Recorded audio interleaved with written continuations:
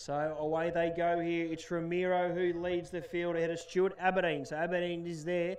John Evans starts to come into it. He goes up there of Davidson and not far away is Oliver Burge, but Michael Ramiro. Ramiro attacks that top end. The defending champion here over 300. It's Michael Ramiro with a lovely lead. Aberdeen is in hot pursuit. The South Australian John Evans is there as well. But look at Ramiro. Ramiro straightened up, has a cheeky look over the shoulder. It's Ramiro coming at him is Aberdeen, but Ramiro's done enough. He'll win easily. He'll win easy, young man. Ramiro switches off.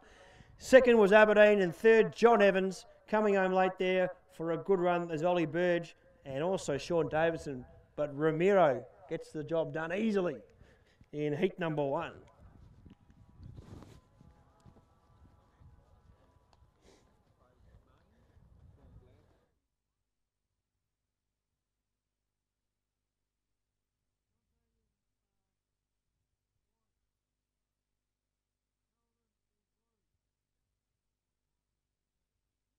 So heat number one there, an impressive win to the red and white of Michael Romero, the defending champ, tries to go back to back. Second is the black there of Stuart Aberdeen, and third was the white, John Evans. The time 34.86.